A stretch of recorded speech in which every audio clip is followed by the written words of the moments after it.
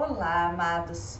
Sejam bem-vindos a mais um momento mantras, onde nós estudamos um pouquinho os mantras, sabendo que assim como o nosso Brasil, ele é imenso e cheio de divisões, quando a gente começa a estudar mantras, a gente pensa em China, Índia, Tibete, tudo ali pertinho, tudo junto e misturado. E pensa-se que existem muitas influências, existem muitos grupos de pessoas convivendo, várias comunidades, várias culturas, vários modos de pensar, né? Então, é, existem mantras que cada um vai pegar assim, para assim, não, esse mantra é mais budista, não, esse mantra é do hinduísmo, esse mantra... E na verdade, os mantras eles podem ser de todos, né? Porque eles são também uma forma de oração, de nos auxiliar a ter concentração, de nos auxiliar a buscar aí a amorosidade divina, de nos conectar, tá? Então eu não entro no mérito de quem pertencem os mantras, mesmo porque nem tenho autoridade para isso. O que eu entro então? Como eu aprendi os mantras, eu vou trabalhando com vocês, né? Buscando um pouco da lógica e apresentando para vocês. Então, a forma como eu apresento para vocês é a forma como eu ouço, como eu pratico na minha vida. Tudo bem? Então, vamos primeiro olhar para o mantra que nós é de estudo de hoje, né? Sem nos preocuparmos muito a quem ele pertence. E depois nós vamos colocar no nosso coração. Tudo bem? Então, olha só. Hoje o mantra é Om Mani Padme Hum. Tudo bem? Combinados? Uma das traduções vai falar assim: é, joia da flor de lótus, joia rara da flor de lótus, preciosa joia da flor de lótus, né? Veja, na cultura, se você for lá, né, Índia, se você pegar é, China, Tibete, você sempre vai ter uma divindade sentada sobre uma flor de lótus, representando sua pureza, representando sua dignidade. Um exemplo aqui que eu tenho fácil é a Kunin, que está sobre uma flor de lótus, né?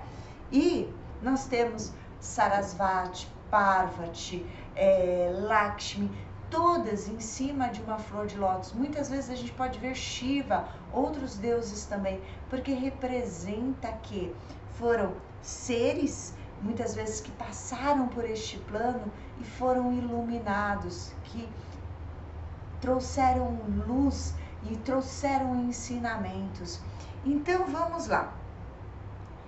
Quando eu penso em Om, nós já estudamos que ele tem a mesma força da palavra Amém. É o som cósmico, o verbo divino, a força da criação, né? Então, ele tem toda essa energia. Mani quer dizer joia, gema preciosa, né? Padme é a flor de lótus. Rum quando eu falo rum, eu estou também falando do elemento madeira, que é estudado na medicina chinesa, que tem rum, uma parte de shen, que é a mente, mas não seria a mente grosseira daqui, né? essa mente que nós utilizamos. Rum seria a alma etérea, seria a parte espiritual, sutil Poxa, então se a gente pensar, né? Se a gente pensar assim, Om, Mani, Padme, Rum. Eu posso entender grosseiramente, né? O Deus todo-poderoso, todo misericordioso, Deus de amor, né? É, esta é a, a joia rara que nasceu no coração da flor de lótus, a alma mais pura, a alma mais bela, né? E eu posso de repente dedicar este mantra então para Kuan Yin, não é? Aquela que podendo não encarnar mais, decidiu voltar a encarnar para auxiliar todos aqueles que sofrem em nosso plano terrestre. Podemos dar então, honrar este mantra Jesus Cristo. Jesus Cristo nasceu no meio de nós, viveu no nosso meio e se santificou aqui mesmo com este corpo, retornou a, a Deus Pai Todo-Poderoso, hoje vivo, né, nos inspirando. Podemos dedicar também este mantra, mantra a Krishna, porque também viveu entre nós, porque também ensinou amor, porque também é um avatar de luz. Podemos, podemos. O que, que a Lotus tem de tão especial que é aí o trono, o, o, o assento desses avatares maravilhosos? Veja, a flor de lótus, ela nasce no lodo. E apesar de ser tudo meio molhado, sujinho, viscoso, a flor desabrocha, linda com todas as suas cores, e nenhuma de suas pétalas é maculada, é suja com a energia que a envolve. Ela absorve daquilo só o que é necessário para o seu crescimento, para o seu florescer. Olha que coisa mais linda.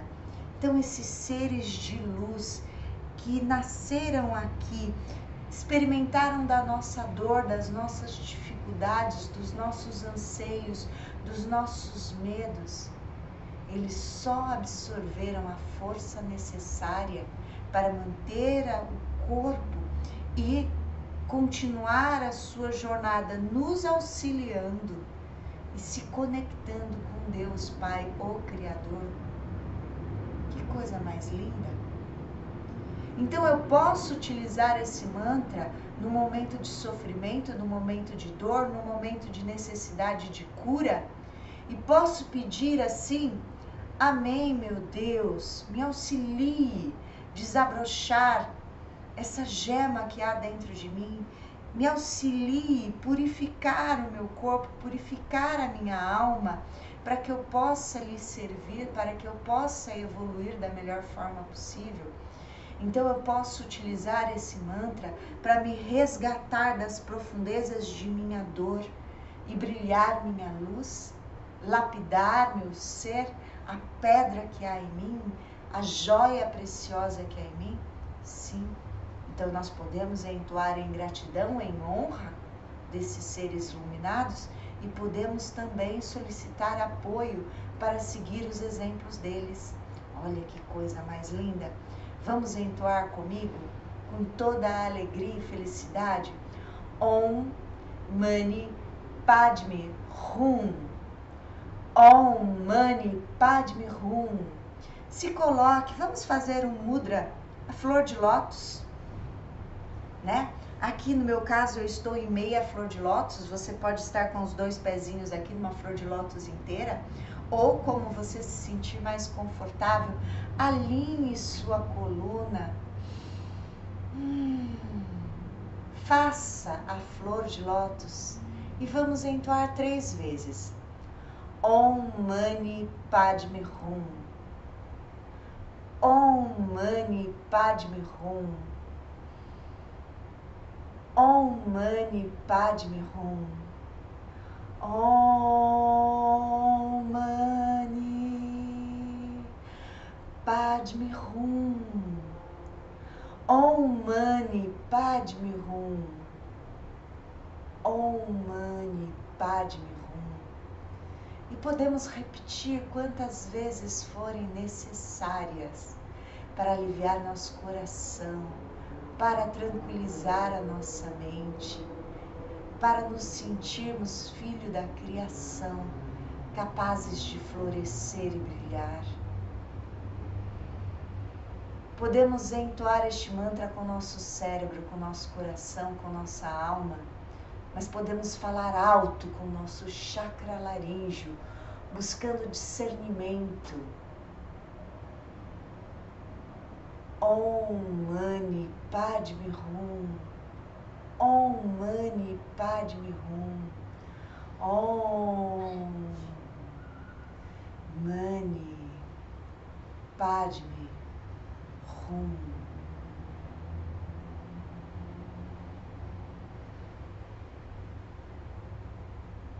Gratidão.